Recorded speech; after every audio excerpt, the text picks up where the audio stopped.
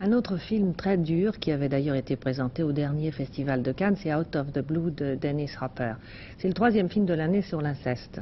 C'est l'histoire d'une famille euh, terrible. Le père euh, vient de passer cinq ans en prison. La mère est hystérique, droguée. Elle passe son temps à avoir peur de recevoir la, la raclée que va lui donner son mari. En même temps, elle aguiche les clients. Et puis la fille est une adolescente bizarre, très névrosée, qui refuse d'être une femme, qui veut être un homme. Et on comprend pourquoi euh, tout le monde meurt à la fin. C'est très très difficile. you. And, uh, well, this is, this is where I've been for the last five years, you know.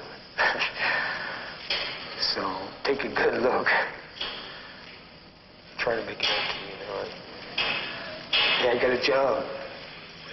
what kind of a job did you get? Well, I got, I got a job, uh, uh, with heavy equipment. And, um, I'm gonna be running the big, uh, big machine. Need to get that rig back together. Would you like that, CB? Mm-hmm. Your hand's shaking, honey. Are you okay?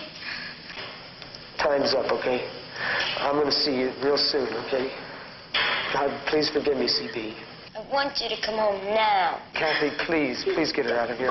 I'll see you real soon, okay, CB? Please, Kathy. Okay, I'm okay, honey.